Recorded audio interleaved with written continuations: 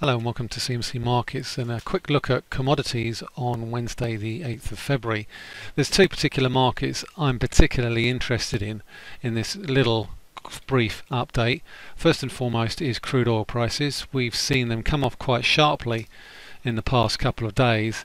Obviously one of the catalysts for the decline yesterday was that huge build in US API inventories, 14.2 million barrels as opposed to an expected two and a half million barrels. And we've seen a big big decline in oil prices over the course of the past two days. Now that doesn't necessarily mean that we've necessarily seen the top but what it does mean is that I think the potential for further oil price gains above the highs that we've seen thus far this year is likely to remain fairly limited because it would appear that the ramped up output from US shale producers, and that's certainly been reflected in recent rig count data, does appear to be filling the gap that's being left by OPEC output cuts. So I think the key levels to watch out for on Brent crude are at the 50-day moving average, which at the moment we're we're sort of flirting with on the Brent contract, and the key support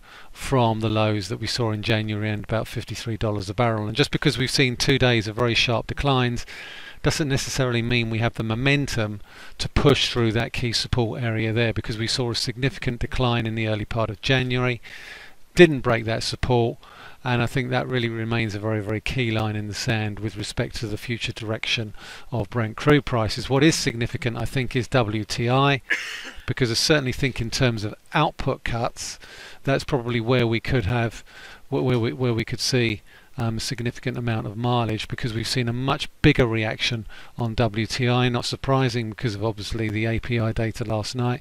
If that number is borne out by Cushing inventory data later today, then we could well see these lows around about $50 a barrel come under a significant pressure and we have closed below the 50 day moving average so I think that's quite significant momentum is starting to turn um, are much less positive. Crude oil longs are still very elevated levels, and as such, I think the risk at the moment now does appear to be towards the downside. Um, uh, and the likelihood of further gains towards $60 a barrel does appear to have diminished. Also on copper prices, looking at some very key levels here, the 200 week moving average, copper prices are heading higher again on the basis that on the basis of some strikes which are due to start on Thursday at Chile's biggest copper mine.